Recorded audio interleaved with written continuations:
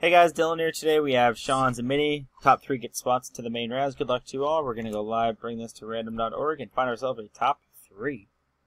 El Mario after one, El Mario after two. Timestamp a 022103 at 1021. And our top three, good luck to you all. We have Jean Bernard, El Mario, and Ilias all getting spots to the main. 9, 8, and 10. Congrats and good luck in the main, guys. At 1021, that is our third and final random. Good luck in the main. We'll see you in the next one.